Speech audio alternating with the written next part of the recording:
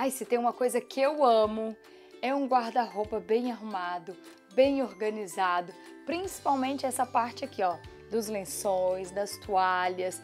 E além de estar tá tudo dobradinho, tudo muito prático para a gente conseguir utilizar, alcançar os jogos, eu também gosto que esteja muito bem perfumado. E ó, tem um lançamento maravilhoso da Casa Flor, que é o Home Spray, que tem ajudado muito nessa função, porque ele é próprio para ambientes e para tecidos. Então a gente pode tranquilamente utilizar ele aqui para borrifar nos nossos lençóis e borrifar constantemente aqui no armário para manter o cheirinho e deixar ele bem perfumado.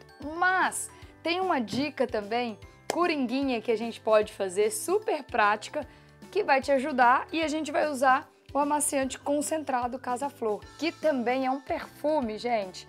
E é um perfume que dura, um perfume que realmente fica bastante tempo no armário.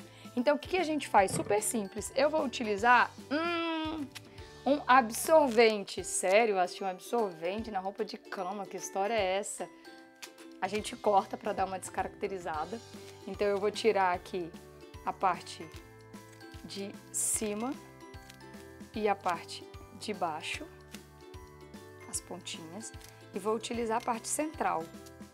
Como o absorvente tem adesivo, então ele vai fixar aqui, ó, vai ficar escondidinho no guarda-roupa. Eu vou utilizar o Ventos Florais, vou colocar um pouquinho aqui na tampinha e vou trazer para o absorvente. Hum, já perfumou. A gente espalha assim. E agora eu venho e colo aqui, na parte superior da prateleira. Bem escondidinho assim, ó.